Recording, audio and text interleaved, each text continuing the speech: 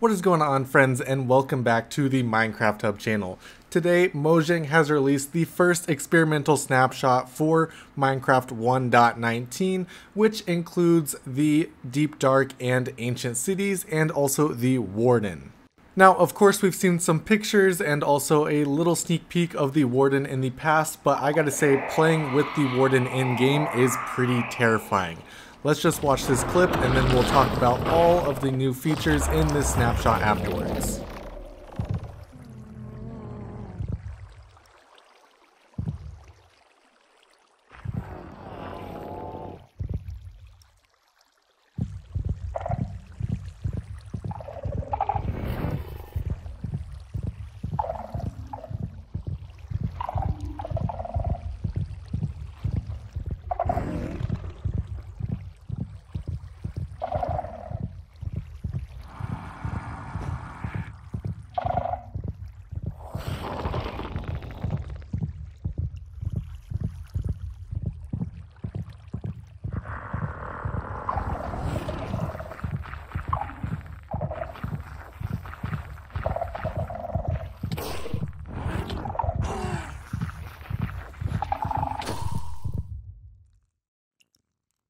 So there we have it. The Warden is terrifying and it moves super fast, way faster than I expected when I first downloaded this.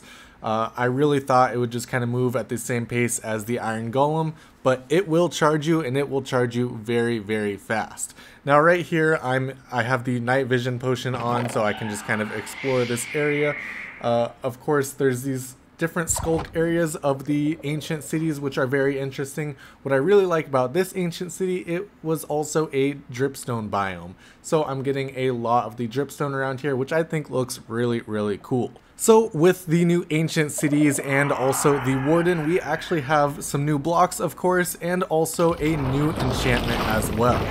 The new blocks are of course the Skulk, Skulk Veins, the Skulk Catalyst, and the Skulk Shrieker, all of which we've seen before they showed us uh, those blocks at the last Minecraft Live event, and we kind of knew that those were the Sculk blocks that would be coming. We also got some of those blocks in uh, the beta versions that we were getting, uh, so we really knew that those blocks were coming, and we also kind of know what those blocks do.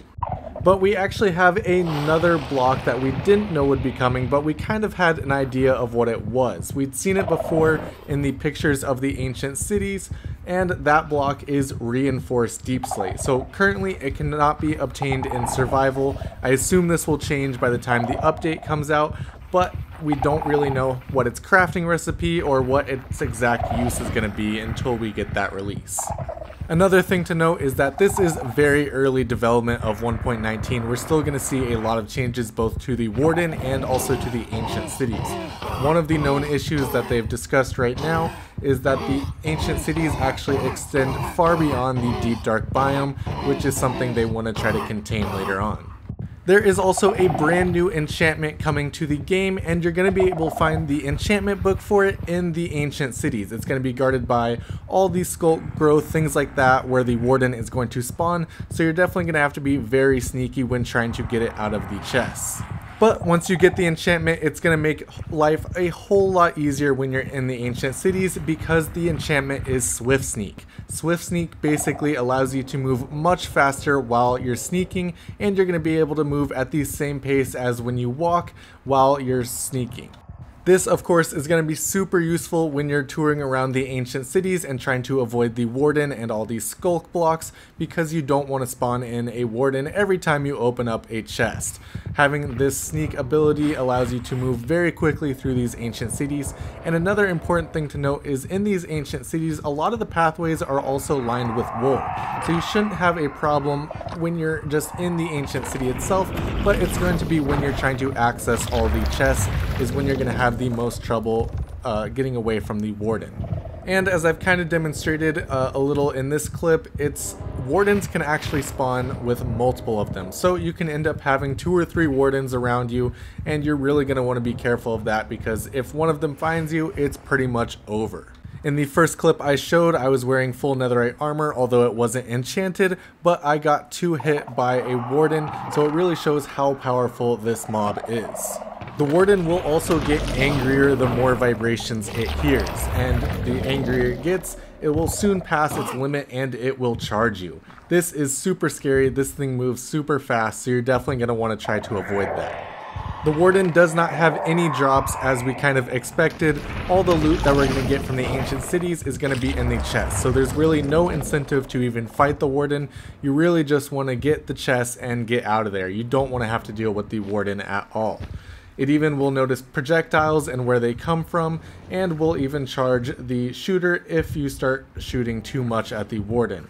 Uh, another thing is that after 60 seconds, if you haven't made any vibrations and it doesn't smell you, it will go back and despawn into the ground so you don't have to deal with it.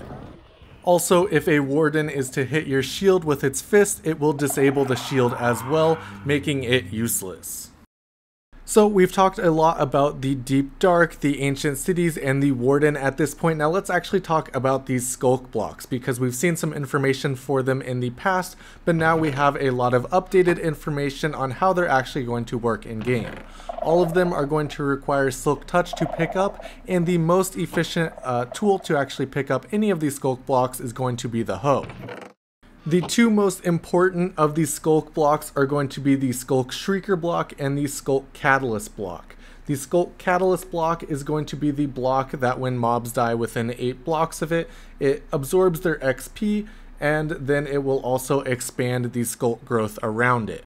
The sort of bony looking Skulk block directly in front of me here is the Skulk shrieker block. This is the block that's going to send out a warning call to the warden as soon as vibrations hit it.